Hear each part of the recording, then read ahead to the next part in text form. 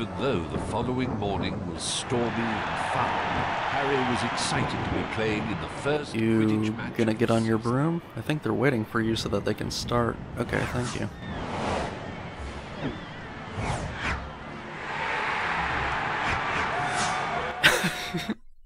they're standing? Look how enthusiastic the crowd is in those stands. Looks weak, like Fluttershy yelling, yay, sort of weak. And they have a mix of students from all four houses standing together, even though it's a Ravenclaw tower. You never actually get to play any Quidditch in this game. You only get this one cutscene. I guess they made up for that with riding around on Buckbeak. Why does he turn around in mid-flight and go backwards? Like, what? He played brilliantly. Until suddenly, Oh no, a hundred RPG sprites. Dementors!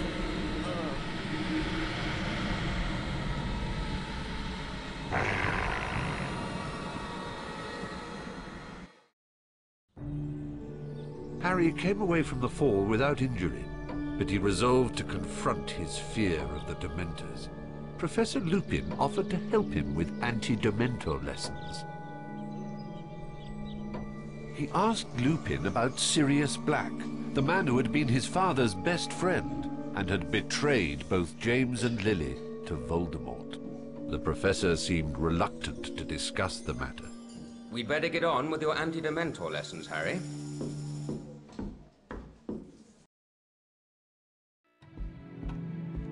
We obviously can't bring a real Dementor into the castle, so we'll make do with a Boggart.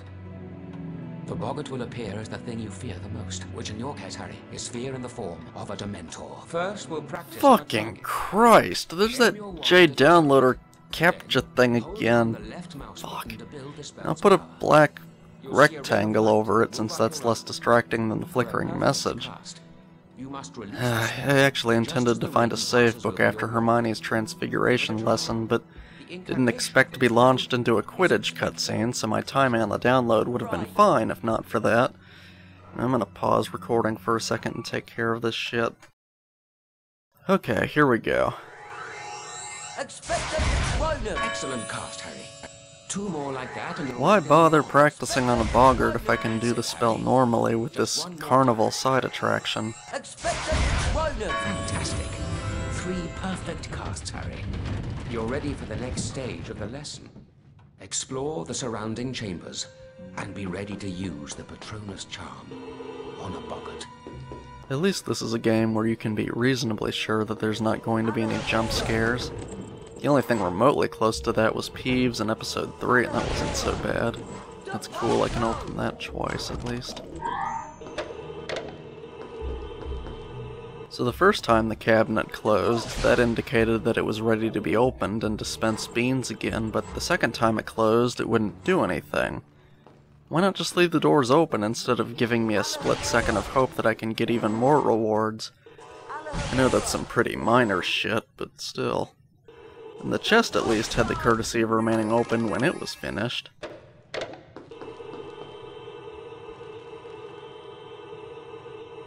Okay, there's probably nothing else to do here.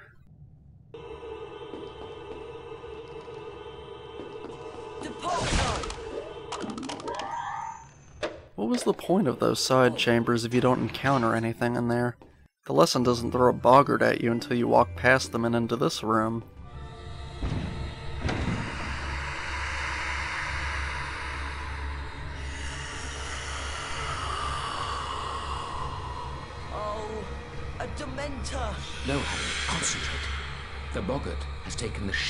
A Dementor to play on your fears.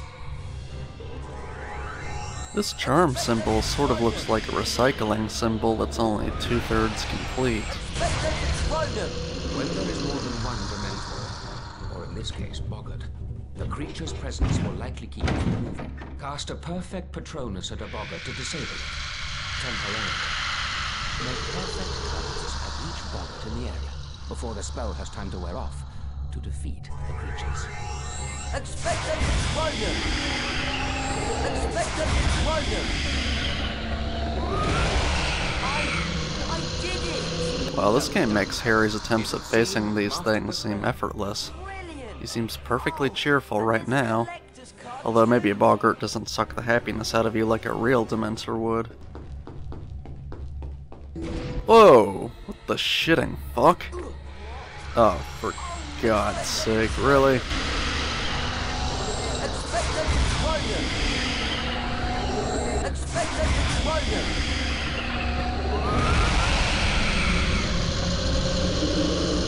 Well done, Harry. Very well done indeed. Please forgive the trapdoor and so forth. It was necessary to see how you do if the Dementors took you by surprise. You did brilliantly. Thank you, Professor Lupin. Still a dick move, though. After the anti-Dementor lesson, Harry asked Professor Lupin if it was true that Sirius Black and Harry's father I'm pretty sure the pendulum for that clock isn't attached to anything, but then again, maybe it's just magically suspended anyway, so I don't know. known Sirius once, or thought he did. What the fuck is the student on the far left doing? Ah!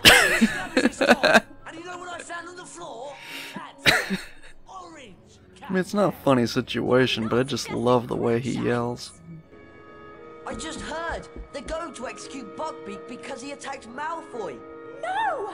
They can't! This is all Malfoy's doing. He's the one who ought to be punished. There must be something we can do. Hey, Harry's face is up here. He's not a reply girl or something. And even though Hermione's an actual girl, she's got a better shot that cuts off less of the top of her head. But I've had it with that monstrous cat of yours, Hermione. I wonder where Madam Pince is. Maybe Crookshanks got her too. know she'd let us look at those books on hippogriff baiting. It's an emergency. It kept in that legal section over there, but it's locked up. There must be some other way to get up there. All right, but let's just try and do this without getting into trouble. Trouble? Who says we'll get into trouble? Oh, good job, Ron, releasing violent books into the air. Alright, Harry, get those. Fucking idiot. Oh, I spit on the screen, damn. Where are the other books coming from? Ron didn't even do anything that time. Seriously, why even have these more dangerous books in an easily accessible part of the library while the legal section remains locked up? See if you can find a way to get us up to that legal section, Ron. Right. Yeah, of course a Carpe Retractum statue just magically appears. Well, of course it would appear magically, but eh, never mind. It's interesting how even though Ron only touched the chocolate frogs, it healed all three characters anyways.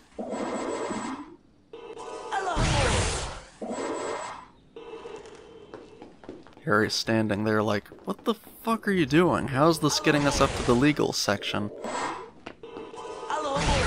Hermione doesn't even care.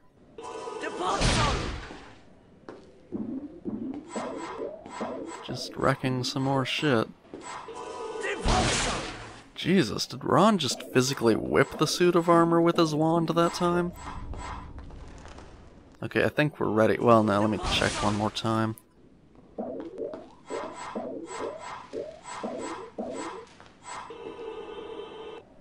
Okay, I should finally be finished now.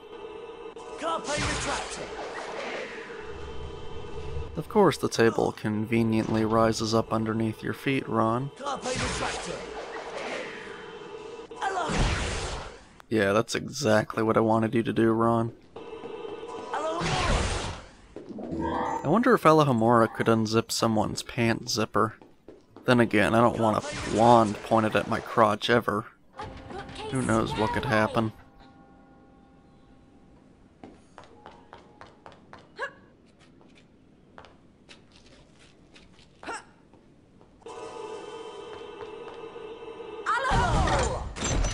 Could you at least point your wand in the correct fucking direction the next time you cast a spell?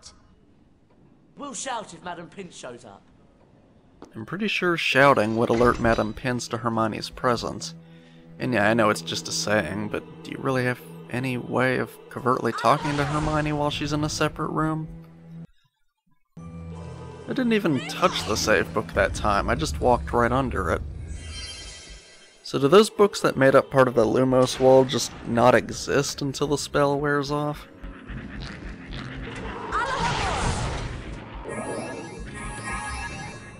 I wonder if I can just run past these guys and bypass this stupid fight.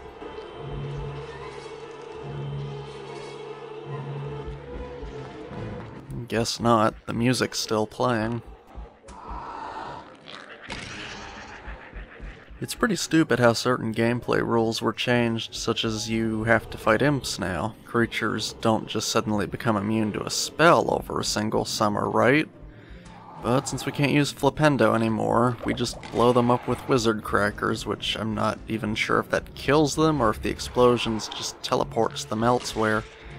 It's also pretty weird blowing these creatures up this way while you're playing as Hermione, given that in the book she started up a whole organization for elf rights. And I realize imps aren't the same, but you'd think she would at least hesitate to wage jihad against these fuckers if they even have a little bit of consciousness as living beings.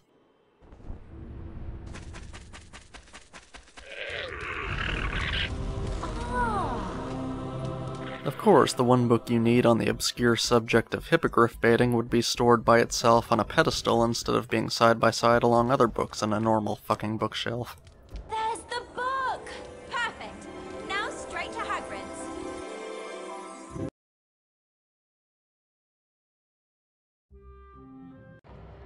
Did you find anything that could help us with Buckbeak's defense? Yes, and I've already dropped the book off at Hagrid's. Hang on.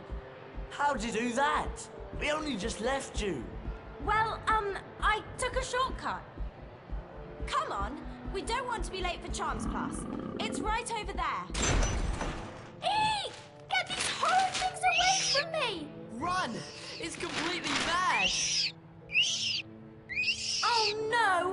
Maybe we better have a My look. god, what's with these camera shots cutting off their foreheads? Yes. This is fucked up. We have time to teach that thing a lesson. Whatever it is. It's up to you, Harry. Uh, I don't feel like doing either of those things right now. Although I guess I can break open another treasure chest. What, that didn't count? You're from class, aren't you? It's on the second floor, right? Of course it is. Silly me. See you up there. You're literally already on the second floor alongside. And he's just walking away from the classroom I too. What the to find a fuck? Password from Fred and George's shop to see what's behind this portrait. I'll deal with that later, Hermione. How is knocking over suits of armor like this not against the school rules anyways? I guess it's allowed or else they wouldn't hide beans in a lot of them.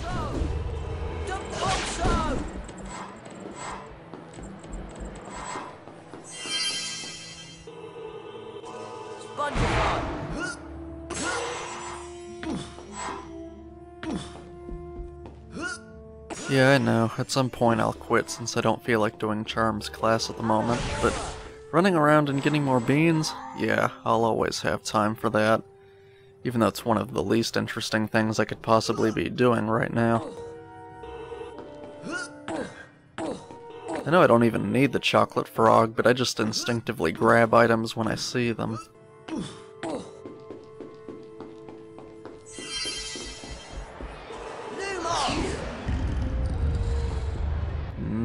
Not sure what I thought that would accomplish that I hadn't already done. Alright, enough fooling around for real though.